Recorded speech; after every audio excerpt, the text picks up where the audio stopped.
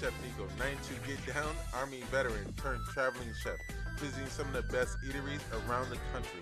If you love food, come watch my show, only at the Food Travel Channel.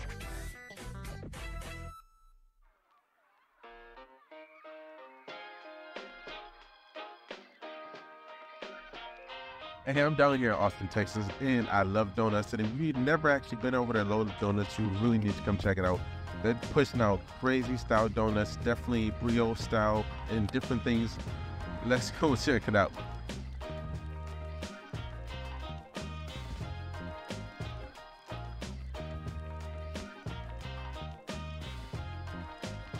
So this is the churro. That bad boy looked crazy.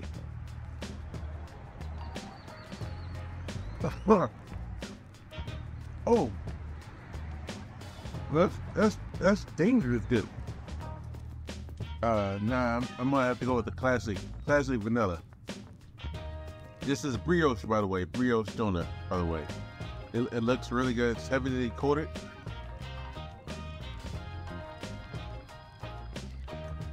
That pillowy salt.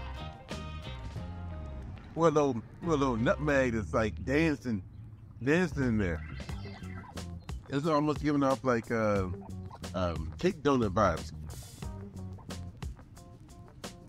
I think this, yeah, this one is a brown butter one. Oh.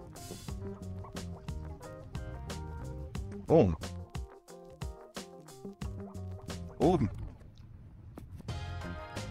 Oh. Tastes so good, make you want to slap your mama. Don't it, Willie? Yeah, boy. Hey, Mom, what the hell you want with? Is crazy. This is crazy. And uh, for the final piece off, right here, we got the coffee toffee. This bad boy look nice.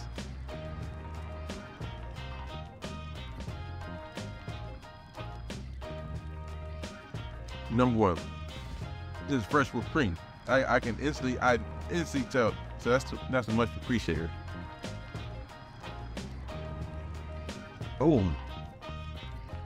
I don't, I don't think you can really, really tell if you can see, but they actually put coffee in the, in the actual dough. It's lifting to another level. Another level. You won't you won't test me by the end of the day. Four five hundred pounds. You know what I'm? Y'all need to try this today. That's tomorrow.